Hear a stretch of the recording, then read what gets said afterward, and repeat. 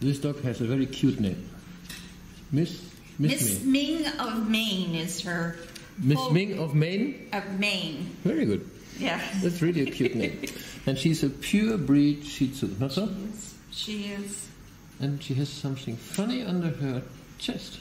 Fatih, can you lift her up a little bit so we can look at the chest? hmm hmm hmm There's a lump that's protruding a little bit.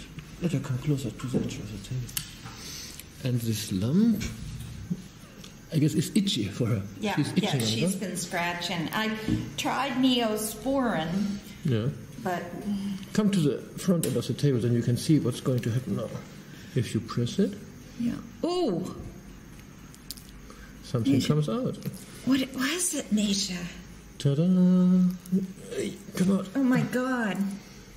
Yeah, for American eyes, it's a little bit horrible. Oh my God, Misha.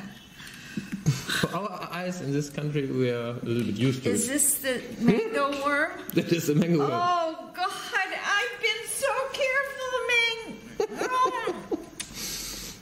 Everybody gets it sooner or later. oh, and over here, Another one? I think maybe Another one. she's got a lump here. We will, we will fix her, don't worry. Oh,